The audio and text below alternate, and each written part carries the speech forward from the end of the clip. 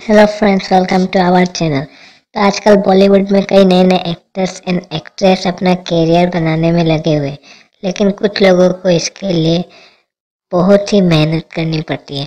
तो हम आज आपको कुछ ऐसे बॉलीवुड एक्टर्स के बारे में बताएँगे, जिन्होंने अपने कैरियर की शुरुआत टीवी एडवर्टाइजमेंट से की थी। तो सबसे पहले बात करते हैं कैटरीना कैफ की। उन्होंने भी बॉलीवुड में आने से पहले फेबिकोल की एड में काम किया था।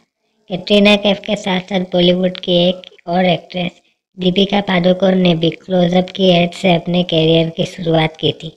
अब बात करते हैं बॉलीवुड के हैंडसम और मशहूर एक्टर वरुण धवन के बारे में। उन्होंने भी अपने कैरियर की शुरुआत बॉर्नबिटा के एड से की थी। बॉलीवुड के एक और हैंडसम एक्टर शाहिद कपूर ने भी कॉम्प्लेन के एड से अपने कैरियर की शुरुआत की थी। रब ने बना दी जोड़ी मूवी से डेब्यू करने वाली एक्ट्रेस अनुष्का शर्मा ने भी साउथ के एक स्किन केयर पाउडर से अपने करियर की शुरुआत की थी। तो आपको क्या लगता है? इन्होंने कितनी मेहनत की होगी इस मुकाम तक पहुँचने के लिए? तो आज के लिए बस इतना ही दोस्तों, अगर आपको ये वीडियो पसंद आई तो इस वीडियो को लाइक कीजिए शेयर कीजिए और हमारे चैनल को सब्सक्राइब कीजिए।